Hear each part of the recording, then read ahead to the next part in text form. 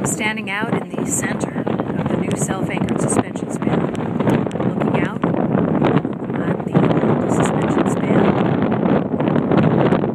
the suspension segment of the truss span, sorry about that, it's slated for demolition in the next three years. And right now we still have pretty much uh,